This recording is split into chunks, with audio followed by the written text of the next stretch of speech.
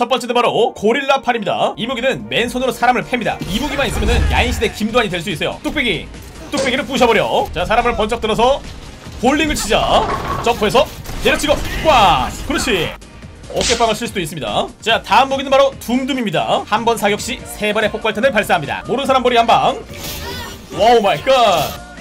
헤드 오 데미지가 한 번에 3개가 들어가요. 이 무기 같은 경우는 한 손으로 쏘는 shotgun이라고 보시면 됩니다. 다음 무기는 바로 거츠. 피해량을 보시면 무려 470 적들을 한 방에 박살냅니다. 발사 발사 발사. 그렇지. 다음 무기는 바싱총입니다. 피해량이 무려 978 이 무기 같은 경우는 데미지가 너무 세서 일반 자동차도 한 방에 터트립니다. 그리고 한 번에 6명의 적들을 동시에 lock-on하죠. 발사. 준비하시고 발사. 컷! 이번에는 NDI 오스프레이라는 폭발 스나예요 자 준비하시고 폭발탄. 게다가 연사력도 상당히 빠르답니다. 다음은 프라이드라는 권총이에요. 은신 플레이할 때 정말 좋아요. 자 멀리서 헤드 한방 톡. 4295 headshot 데미지가 무려 4000이 넘게 납니다. 4700 이번에는 라이즈라는 tech submachine gun입니다. 한 번의 공격으로 세 발이 나갑니다.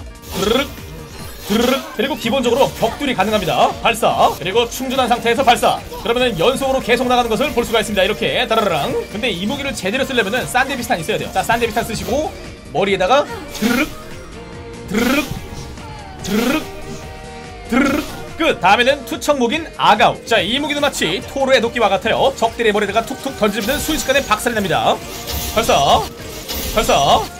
발사 발사 다음은 카타나 뱌코. 자 이 무기 같은 경우는 아무나 한 명 처치시 공속이 미친듯이 빨라집니다. 순식간에 적들을 깍두기로 만들어버릴 수 있죠. 마지막으로 대망의 1위는 바로 에레버스. 블랙홀을 발사한다는 독특한 설정의 무기입니다. 기본 데미지 자체가 엄청 센 건 아닌데 쏠 때마다 강력한 블랙홀 해킹이 들어갑니다. 따라서 기계건 인간이건 따지지 않고 순식간에 지옥으로 보낼 수가 있죠